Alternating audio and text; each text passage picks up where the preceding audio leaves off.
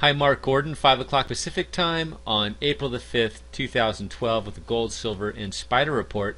This is the GLD, uh, the uh, gold ETF, up about uh, 7 tenths of 1% today, a little bounce. Um, we had uh, been falling pretty precipitously in this channel here, and then uh, a couple weeks ago we broke out of that channel to the upside.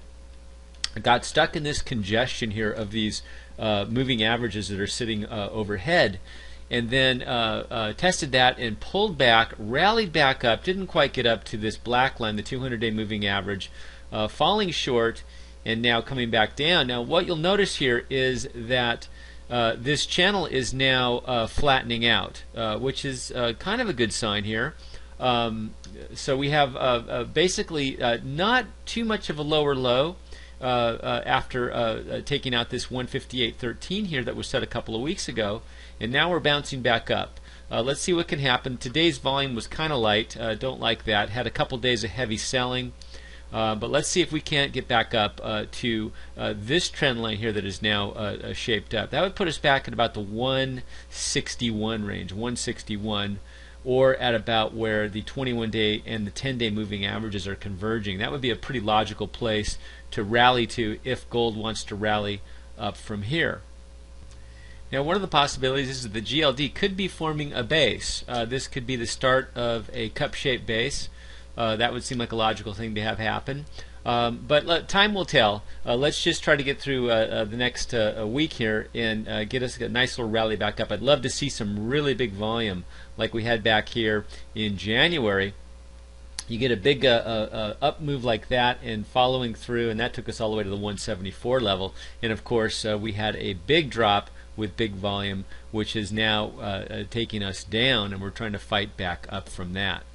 And when I scroll down to the MACD, the moving average convergence divergence, you can see that it, it cleared it. the black line, which is the shorter moving average, got up above the uh, gray line, which is the the um, I'm sorry, the faster moving average got above the slower moving average, and we've been kind of waffling back and forth, no real direction there. Uh, of course, the um, relative strength against uh, stocks, the S&P 500, has been weak. Uh, gold has been uh, uh, underperforming uh, stocks ever since peaking in December here. Um, stochastics are luckily coming down into the oversold area, so that's a good sign. Maybe the selling is is going to abate here. And flipping now to a weekly chart of the GLD, down 2.35% on the week. Uh, you can see uh, uh, this down week here, the rally up to the moving averages here, and the fall here uh, one of the negatives that's happening is is this blue line, the 10-week moving average, is now uh, crossing over this black line, the 40-week moving average, and uh, could take out the 20-week uh, moving average too. So that's a negative sign. Volume has been fairly subdued. a couple of spiky little down weeks here. Not the best thing in the world to see. our next logical point of support here uh, on the weekly chart would be this lower Bollinger Band at about the 152 level, uh, 152.45 to be exact. So that's a place uh, where where uh, support could happen. And then of course we have this previous low at 148.27 that was uh, made uh, in late December. And to give you a broader perspective on gold, last year in 2011, uh, we fell in January and then rallied up Nice little rally here. Uh, then in March we had some sideways action. In April, like we're in now, we got a nice little pop here. And then uh, uh, starting in May, we just kind of waffled back and forth. And in July, we really took off. Uh, we had a, a, a, first or second week in July here. We had a, a big volume uh, up week, uh, broad stroke here, and then followed through on that and went to new highs here in the summertime before peaking out in September. And then, of course, uh, we have been waffling ever since. Uh, this year, uh, we had a good rally at the start of the year. Uh, took a little uh, three week break here uh, going into February, and then had been falling here through February and March, and now into April. And um, so, you know, the years never repeat themselves, but it's just good to keep a perspective of what's going on. You can see that we are just stuck in this back and forth trading range here. And moving on now to silver, this is the SLV, the silver ETF, down. About, uh, I'm sorry, up 1.3% today. Get a little, little bounce here up off the bottom. I can't help but noticing this sort of uh, cup uh, being formed also, like in the gold. Um, uh, you know, trying to hammer down below 30 bucks here and not not getting much progress here. Um, we did uh, uh, get a little bit of an up move today, but the volume was light compared to the last couple of days, which saw heavy volume uh, uh, sell-offs here and taking out some some uh, moving averages here. Here's the green line. Uh, this is your 100-day moving average, and that got taken out yesterday. And um, uh, also, uh, you rallied up here. tried to get up here to the 50-day moving average, this blue line, and trying to get up there a couple times here. Touched it here, came back down, got up almost to it here, came back down, and so forth. So uh, that's been some overhead resistance here. Traders uh, not willing to really take it up through there at this point. Of course, I believe there's a lot of central bank intervention on silver, a lot of manipulation going on. Um, the uh, invisible hand, uh, as Jim Sinclair calls it, uh, does not want silver up above this blue line here at this point. Uh, but uh, anyways, our next uh, point of uh, overhead resistance will come in here at the 100-day moving average 3127. Uh, and then uh, let's see if we can get up through that. And then right above that, we got the 21-day moving average coming in at 3160.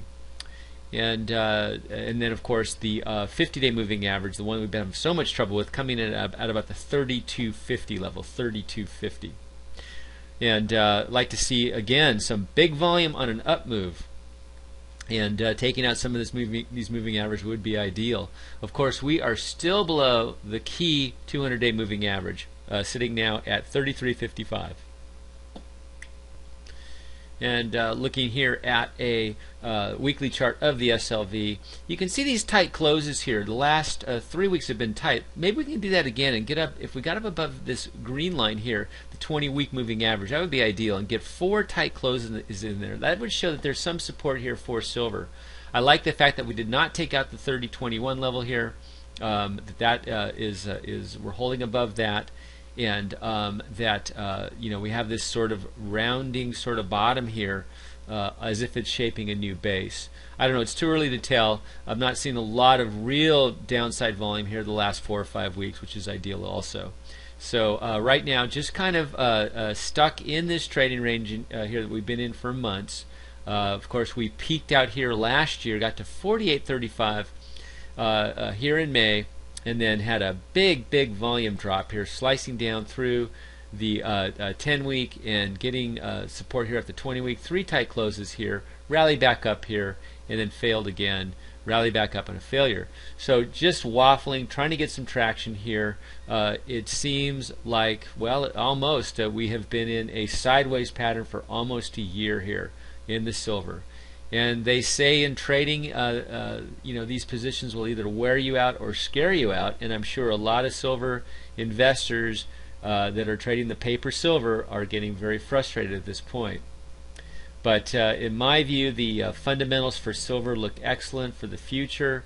Uh, you know, we just have to wait this out and and wait for wait for some traction to take hold here and you'll you'll notice that when you get a, a, a big up week on some big volume, that'll be a sign that, uh, that, that this might be turning the corner. Moving on now to stocks, this is the SPY, the S&P 500. Uh, certainly a lot better looking chart than the silver and gold. We have been in a nice rally since our follow through day on December 20th. And uh, uh, sitting right here on this key 21 day moving average, breached it once back here in March, no big deal. Uh, came down on some gaps, on some heavy volume, scaring everybody out. But uh, the buyers were there to uh, pick it up here at the lower Bollinger Band and ran it back up. And we are sort of caught in this little bit of a back and forth trading range here. We're at the lower end of that range. Volume has been average, a uh, little bit spiky here, a little spiky here. Um, but uh, uh, you know, just holding our own here at the 21-day moving average nice stack of the moving averages. Uh, this market here uh, obviously has a lot of momentum to the upside, although that momentum is starting to taper off, and I'll show you why I say that. If we look down here at the MACD, moving average convergence divergence, you'll notice that the faster line, the black line, has crossed under the uh, slower line. That's a sign uh, of, uh, of a loss of momentum. You'll notice that the slower uh, uh, average, uh, this blue line here, is starting to roll over and point down. And you'll notice that the black line is pointing down and moving farther away from the blue line. And you haven't seen that since early March here.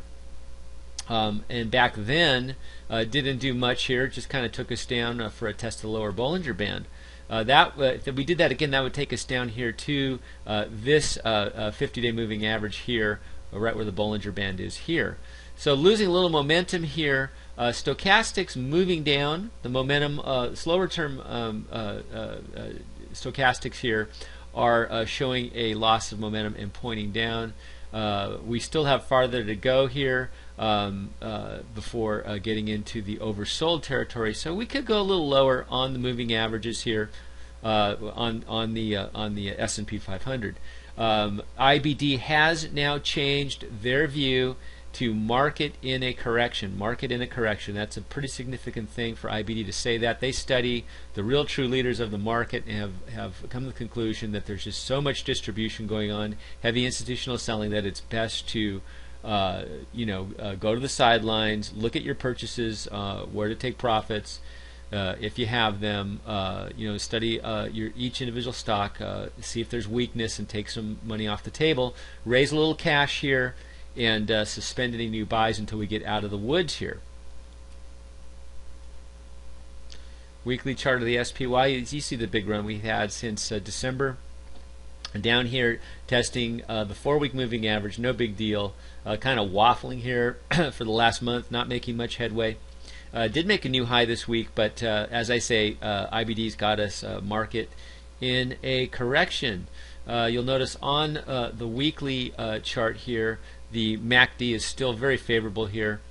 even though the black line is starting to flatten out here a bit, and you'll notice the rollover here of the stochastics losing a little momentum. Uh, they've been kind of flatlining here sideways, but way up here in the 90 range. So stochastics are still strong as far as a momentum indicator.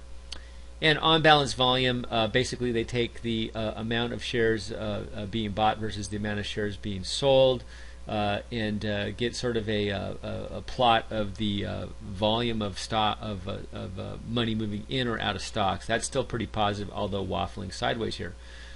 And that's it. So uh, uh, stocks uh, uh now in a correction according to IBD, and of course gold and silver uh, in a very choppy trading range for quite a while. So that's it. Thanks for listening.